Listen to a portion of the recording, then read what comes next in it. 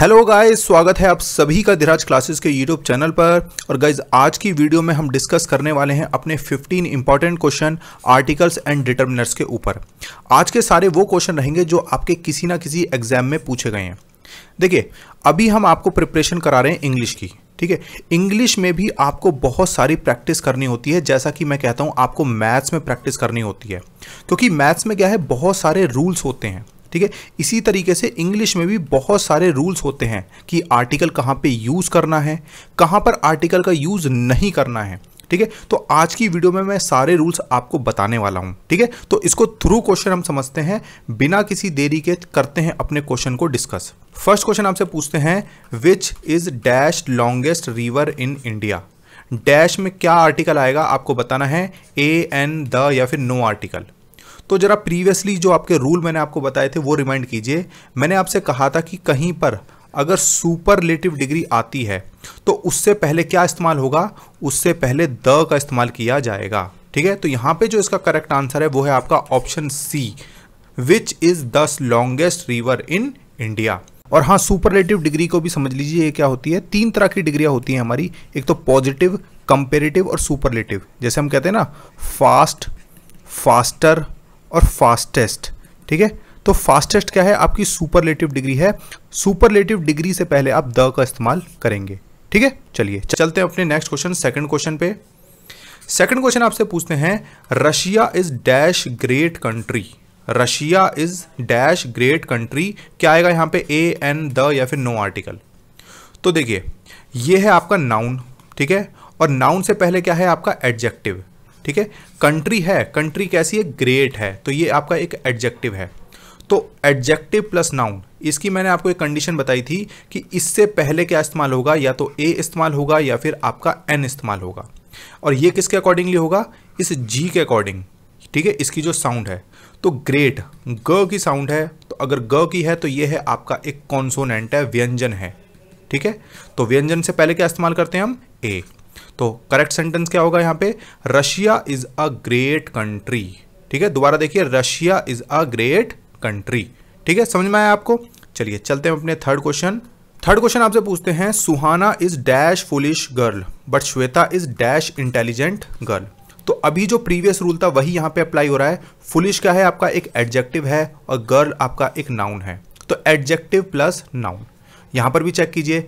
Intelligent आपका एक adjective है और आपका गर्ल एक नाउन है एडजेक्टिव प्लस नाउन तो बस, यहाँ पे जो एडजेक्टिव के फ़र्स्ट लेटर की साउंड है, उसके अकॉर्डिंगली चेक कीजिए। फुलिश फ की साउंड आ रही है। फ है आपका एक कॉन्सोनेंट और कॉन्सोनेंट है तो यहाँ पे क्या आएगा? ए आएगा।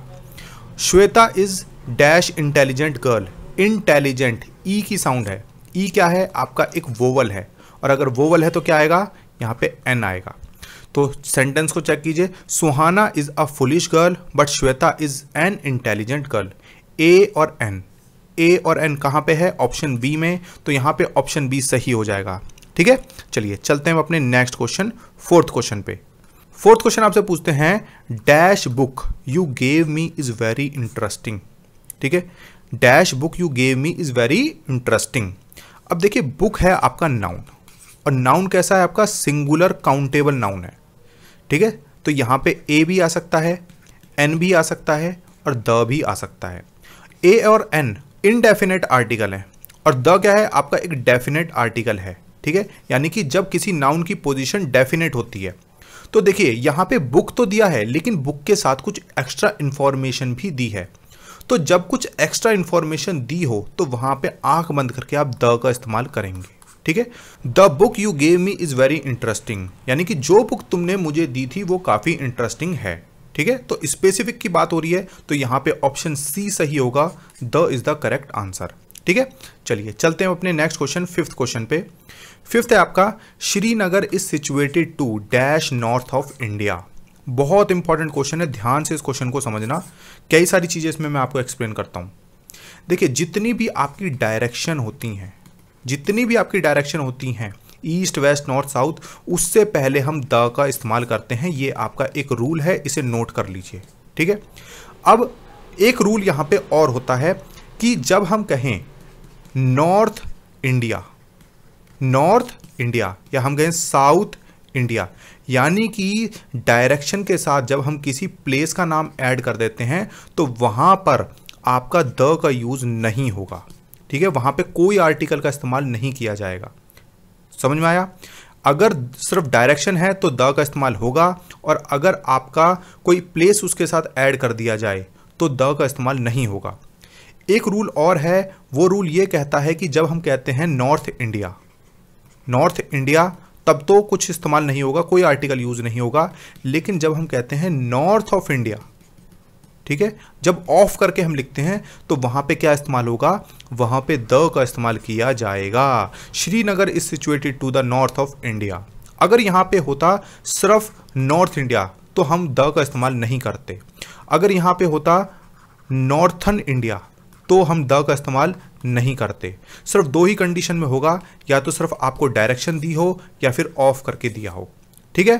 ध्यान रखना इसको। चलिए तो यहाँ पे जो करेक्ट आंसर है, वो है आपका ऑप्शन बी चलते हैं अपने next question six question six है आपका dash breakfast is ready for us breakfast से पहले बताना है कि आपको क्या आएगा? ऑप्शन ए द एन या फिर कोई आर्टिकल नहीं आएगा। तो इसका भी एक रूल है।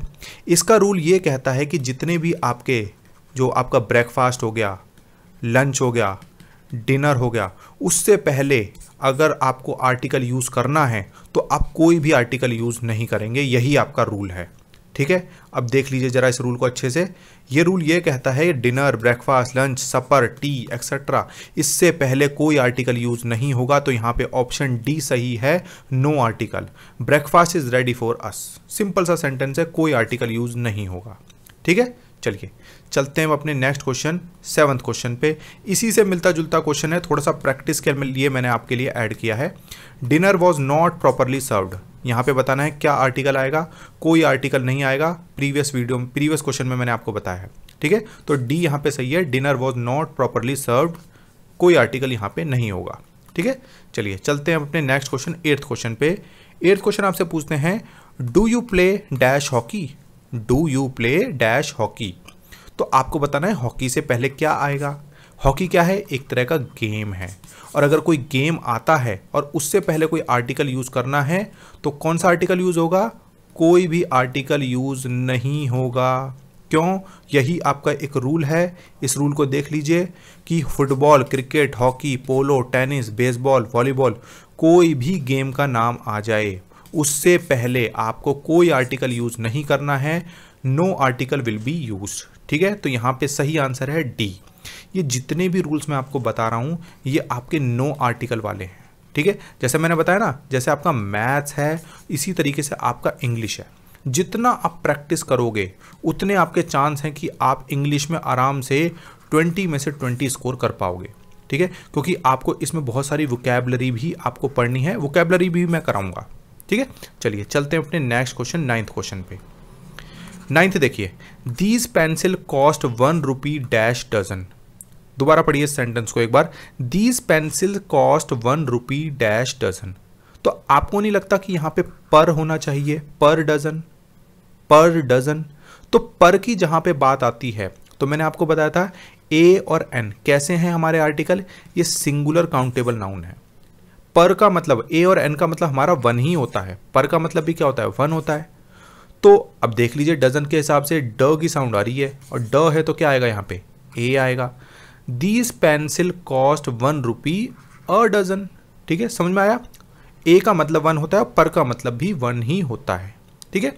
चलिए, चलते हैं अब अपने नेक्स्ट क्वेश्चन टेंथ क्वेश्चन पे। उससे पहले आपके लिए एक ज़रूरी बात, जो भी मेरे चैनल पे न्यू हैं, आप मुझे अपना नाम इस नंबर पे मैसेज कर देना। हम आपको अपने ब्रॉडकास्ट चैनल से जोड़ देंगे, ताकि के की कोई भी इंफॉर्मेशन आती है, आपको दी जा सके। और प्लीज़, आप लाइक, शेयर और कमेंट करके तो मुझे ज़रूर बताया करो। ठीक है? चलो। टेंथ क्वेश्चन है आपका। Get me dash kilo of ice cream from dash nearest grocer दोबारा पढ़िए सेंटेंस को। Get me dash kilo of ice cream from dash nearest grocer तो देखिए, यहाँ पे तो मैंने आपको बता दिया, यहाँ पे कौन सी डिग्री है? यहाँ पे सुपरलेटिव डिग्री है। और अगर सुपरलेटिव है तो यहाँ पे क्या आएगा? यहाँ पे द ही आएगा। अब यहाँ पे देखना है हमें, यहाँ पे क्या आता है फ़र्स्ट में। Get me dash kilo of ice cream यहाँ पे एक किलो की बात हो रही है। यहाँ पे डैश किलोग्राम्स नहीं बोला, यहाँ पे बोला है सिर्फ़ एक किलो लिखा हुआ है। तो इसका मतलब एक की ही बात हो रही होगी, ठीक है?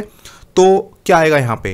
यहाँ पे ज़ाहिर सी बात है ए ही आएगा, क्योंकि क की साउंड है और क क्या है? आपका एक कॉन्सोनेंट है, और कॉन्सोनेंट है तो क्या आएगा? आपका ए ही आएगा। तो get me a kilo of ice cream from the nearest grocer a और द ए और द कहाँ है? ऑप्शन डी में है। तो टेंथ का सही आंसर है ऑप्शन डी ठीक है? चलिए, चलते हैं अपने नेक्स्ट क्वेश्चन इलेवंथ क्वेश्चन पे। इलेवंथ है आपका dash cancer is a dangerous disease dash cancer is a dangerous disease देखिए, मैं, देखिए सेंटेंस को आपको कई बार रीड करने के लिए कहता हूँ। उसका कारण ये है कि कई बार हम सेंटेंस को बार बार पढ़ते हैं तो हमें आंसर खुद ही आने लगता है। क्योंकि कहीं ना कहीं हमने ये सेंटेंस पढ़ा होगा। अब देखिए रूल ये कहता है कि जितनी भी आपकी इंपॉर्टेंट डिसीज़ हैं, जितनी भी आपकी डिसीज़ हैं, उससे पहले कोई भी आर्टिकल यूज़ नहीं होगा। ठीक है? आपने यही सेंटेंस देखा होगा cancer is a dangerous disease कहीं पर आपने a cancer is a dangerous disease देखा है? नहीं देखा होगा। एन देखा है? नहीं देखा। The cancer is a dangerous disease नहीं देखा होगा। क्योंकि कोई भी आर्टिकल यूज़ नहीं होता है। तो यहाँ पे ऑप्शन डी सही है और रूल भी आपका यही कहता है कि कोई भी आर्टिकल यूज़ नहीं किया जाएगा। जैसे आप ये सारी डिसीज़ देखिए diabetes typhoid tuberculosis malaria influenza fever cancer anaemia ये सारी जो डिसीज़ हैं, अगर इनसे पहले कोई आर्टिकल के लिए ऑप्शन आता है तो कोई आर्टिकल यहाँ पे यूज़ नहीं होगा। ठीक है? चलो, चलते हैं अपने नेक्स्ट क्वेश्चन ट्वेल्थ क्वेश्चन पे। ट्वेल्थ है आपका Heeral thinks that this is quite dash cheap restaurant cheap restaurant cheap restaurant समझ गए होंगे आप, यहाँ पे एडजेक्टिव है, यहाँ पे आपका नाउन है एडजेक्टिव प्लस नाउन है तो उससे पहले ए और एन का यूज़ होगा। अब देखिए चीप है। च च की साउंड है, क्या है आपका एक कॉन्सोनेंट और अगर कॉन्सोनेंट है तो क्या यूज़ होगा? ज़ाहिर सी बात है ए ही इस्तेमाल होगा। Heeral thinks that this is quite a cheap restaurant समझ में आया? चलो, चलते हैं अपने नेक्स्ट क्वेश्चन थर्टीन क्वेश्चन पे। थर्टीन आपका dash gold is a precious material dash gold is a precious material. तो गोल्ड क्या है आपका? गोल्ड आपका एक नाउन है, लेकिन कैसा नाउन है? एक आपका अनकाउंटेबल नाउन है, ठीक है? और अगर अनकाउंटेबल नाउन है तो यहाँ पे ए और एन का तो इस्तेमाल नहीं होगा, क्योंकि ये किसके साथ इस्तेमाल होते हैं? सिंगुलर काउंटेबल नाउन के साथ इस्तेमाल होते हैं। तो यहाँ पे क्या इस्तेमाल होगा? यहाँ पे कोई आर्टिकल यूज़ नहीं होगा, क्योंकि जितने भी आपके मेटेरियल नाउन होते हैं मटेरियल जैसे हो गए आपके गोल्ड सिल्वर कॉपर इनसे पहले कोई आर्टिकल आपको यूज़ नहीं करना है। Gold is a precious material यही सेंटेंस सही है। No article will be use ठीक है? तो थर्टीन का डी आंसर सही है, ठीक है? चलिए, जितने भी मटेरियल हैं देख लीजिए गोल्ड सिल्वर कॉपर ये सारे जो हैं, इनसे पहले कोई आर्टिकल यूज़ नहीं होता है। फोर्टीन क्वेश्चन देखिए, बहुत इंपॉर्टेंट क्वेश्चन है, जरा सा सा चेंज है और आंसर चेंज हो जाएगा। Dash gold of Nepal is very cheap अब मैंने गोल्ड नहीं बोला, मैंने बोला है gold of Nepal gold of Nepal मैंने स्पेसिफिक कर दिया और अगर स्पेसिफिक किया है तो क्या इस्तेमाल होगा? ज़ाहिर सी बात है, द का इस्तेमाल किया जाएगा, एक डेफिनेट आर्टिकल का इस्तेमाल किया जाएगा, ठीक है? The gold of Nepal is very cheap ठीक है? The gold of America is very cheap the gold of Japan is very cheap जो भी अगर आपको थोड़ा सा एक्स्ट्रा इन्फॉर्मेशन मिलती है, अगर डेफिनेट चीज़ है वहाँ पे तो आप द का इस्तेमाल करेंगे। ठीक है? और अगर मैं कहता गोल्ड इज़ वेरी चीप तो सिर्फ़ गोल्ड ही रहता, उससे पहले हम कोई आर्टिकल यूज़ नहीं करते। ठीक है? चलो, चलते हैं अपने लास्ट क्वेश्चन फिफ्टीन क्वेश्चन पे। बड़ा सिंपल सा क्वेश्चन है और इंपॉर्टेंट भी है, क्योंकि मैंने आपको इसका रूल बताया भी था और एक एग्ज़ाम में पूछा भी गया ये। Dash piano is a musical instrument ठीक है? Piano is a musical instrument क्या आर्टिकल होगा यहाँ पे? तो मैंने आपको बताया था, जितने भी आपके म्यूजिकल इंस्ट्रूमेंट होते हैं, उससे पहले हम क्या यूज़ करते हैं? द का इस्तेमाल करते हैं, the piano is a musical instrument. ठीक है? जितने भी आपके म्यूजिकल इंस्ट्रूमेंट है, देख लीजिए, गिटार हो गया आपका, ठीक है? Tabla, harmonium, piano, dholak, violin, trumpet, जितने भी आपके म्यूजिकल इंस्ट्रूमेंट हैं, उससे पहले आप द आर्टिकल का यूज़ करेंगे। ठीक है? तो गाइज़ ये थे आपके टोटल 15 क्वेश्चन आई होप सभी को अच्छे से समझ में आए होंगे। और प्लीज़ वीडियो अच्छा लगा है तो लाइक कीजिए शेयर कीजिए और कमेंट तो ज़रूर किया करो। ठीक है? चलिए thank you so much guys